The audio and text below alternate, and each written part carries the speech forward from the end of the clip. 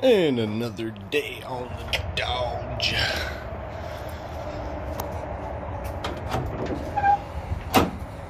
Get all this stuff off of here. I just need to get this radiator out of here. Oh, bam.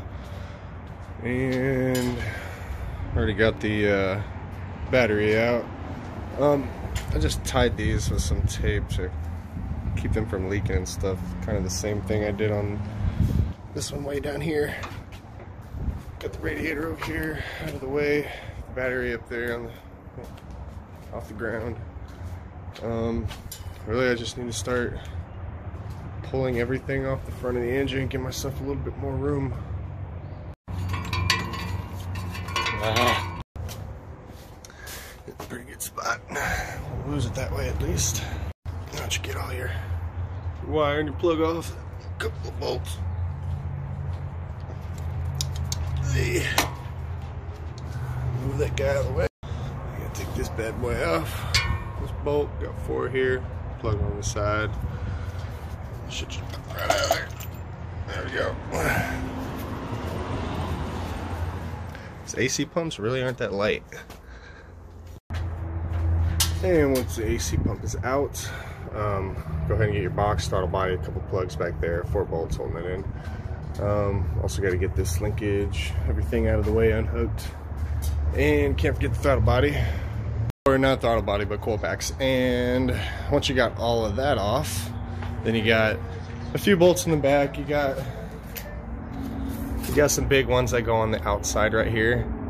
The very outside bottom. And then you got some up here for shorter, skinnier ones. The big ones will not go in these top four, so I really can't get them confused. Um, and after that, you want to loosen up your motor mounts on either side, which I already got done. And then now I'm going to move the cherry picker up and see if we can yank it out. And just like that, it's out. Um, I did have to make it easier for me. These three holes right here um, go to the uh, motor mounts, but it's a lot easier instead of taking that bolt out and trying to get it up over this this little hump here. It's a lot easier just taking those three out once you got once you got some weight on. Yeah, mine's really lopsided, but I didn't know it was gonna do that. Um, you're gonna get tranny fluid everywhere as soon as you yank it out. See how my input shaft looks? It's billet, so I ain't gonna get run. The brand new pump. Everything's so dirty on the outside, but it's so nice on the inside. And then I got the uh, torque converter here and the uh, plate behind it. I'm gonna have to put on that motor. Now I just need to get this on the ground. But before I get it on the ground, I want to show you guys something. There's uh, a bushing underneath your transmission right here. And it's got two bolts underneath this big old skid plate.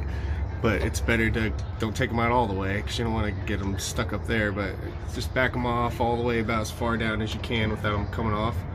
Helps the transmission lift up. That way when you're lifting up your engine, it'll come out a lot easier. That was scary. Um, the motor actually fell. It uh, didn't hurt anything though. I don't really care about the motor, but transmission lines are good. Everything else seems to be okay. Didn't fall on any of these lines or cords. It fell mostly on this side over here. Okay, never mind. I got a, a dent where that oil, oil filter hit. Yep. Good thing these bumpers are cheap. but yeah, oh boy. And once you get your torque converter off, there's only just a few bolts, like five. Just five little bolts or six. It goes around, holds it on the back. I just clamp it right here and torque it. It's it's a lot easier. Same thing with uh, these guys. And then we're gonna get that off. It's getting dark, guys. Uh, I got the flywheel off and I don't have, I got all that replaced, new seal, everything like that. I got my, I'll retorque it tomorrow. Got my metal thermostat that I love so much. Uh, fuel rails from the other guy, because uh, those had different injectors on this other motor. And uh, let's see, that's pretty much it. I just gotta make sure I get everything off of this engine that I want on this guy. I'm gonna pretty much call it a night, guys, because, I mean, tomorrow I'm gonna have to come out here and spray off all of that. It's dirty. It is so dirty in here. You guys can kind of see it. Kinda. But I'm gonna go ahead and tape up all my plugs. Anything that I think will get wet. Block off the uh, bell housing because I don't really want to get water in there. And uh, don't really care about the exhaust.